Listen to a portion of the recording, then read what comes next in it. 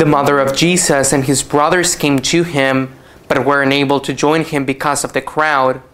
He was told, Your mother and your brothers are standing outside, and they wish to see you.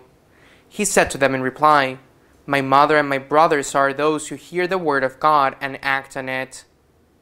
The Gospel of the Lord. Praise to you, Lord Jesus Christ. Every time this passage from the Gospel of St. Luke is read, it is essential, although I have done it many times, at least personally, it is essential to explain the meaning of the word brother. Naturally, there is a meaning that is linked to brotherhood as the fruit of being the son of the same father and the same mother, or of a father or of a mother, but not both. In Spanish, we call that stepbrother, but there was not in the ancient Aramaic and Hebrew the same, the same richness of vocabulary that there is in our much modern, modern languages and also the appellative of brother was given. Even more, they called siblings to those that we call today first cousin, that is, the son of the uncle or aunt, the son of a brother or of the sister of your father or of your mother, a first cousin. These three categories to designate them, the same word was used siblings, children of the same father and mother, siblings, instead of step siblings, a word that did not exist having the father or mother in common, and the first cousin, that word did not exist either. There are examples in the Bible in which this is seen to be, and so they are called brothers, and instead they have, in the Bible appears, different parents. I believe that this should be clarified. On the other hand, if the Virgin Mary had had other children, our Lord would have had brothers, brothers and sisters. There is another text where he speaks of brothers and sisters. It is impossible that the Blessed Virgin would have left her in charge of a stranger, as was St. John the Evangelist.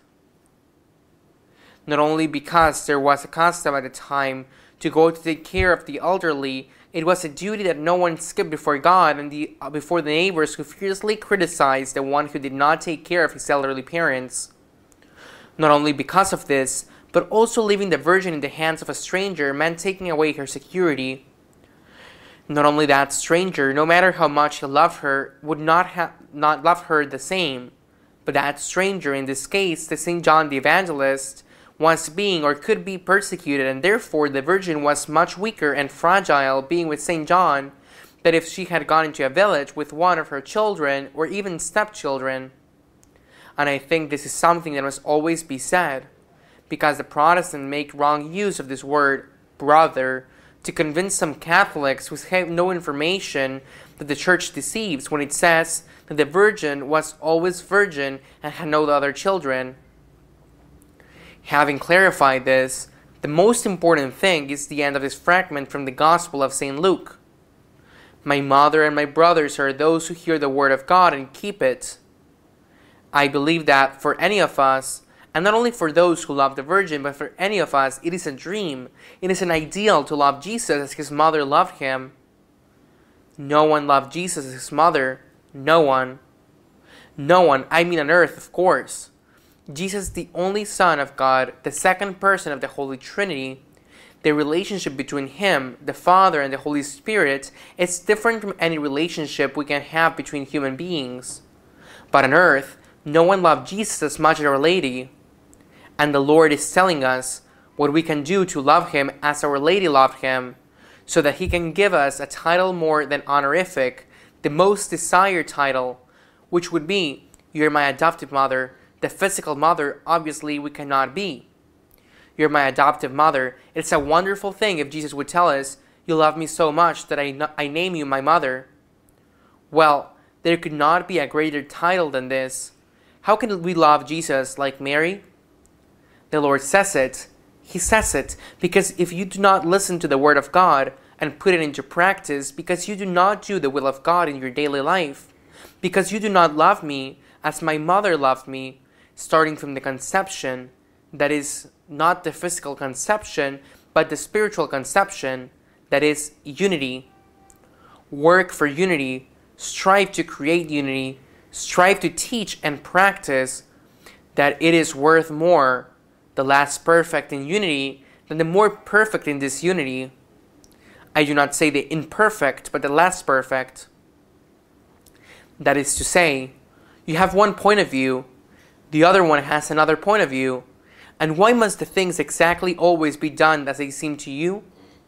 Listen, listen, accept on things that are really important, those red lines, which you almost have the essential things, accept on those things. It's much better to cede than break. There are more important battles to fight and win than trying always to be right. Learn to give in rather than to break up. Learn to give in. It is the secret of a coexistence, and that is why favors unity and do out of, out of love.